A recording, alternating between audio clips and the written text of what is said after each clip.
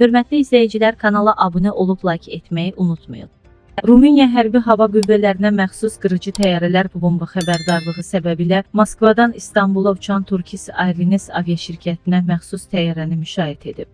Milli Az reporta istinadən xəbər verir ki, bu barədə Rumıniyanın Milli Müdafiə Nazirliyi məlumat yayıb. Rumıniya hərbi hava qüvvələrinə məxsus təyyarələr martın 22-sində Turkish Airlines aviaşirkətinə məxsus Moskva-İstanbul reysini həyata keçirən mülki təyyarəyə bomba qoyulması barədə xəbərdarlıq aldıqdan sonra mülki təyyarəni tutmaq və müşahidə etmək üçün ölkənin hava məkanında yeni bir missiya həyata keçiriblər, deyə məlumatda bildirilir.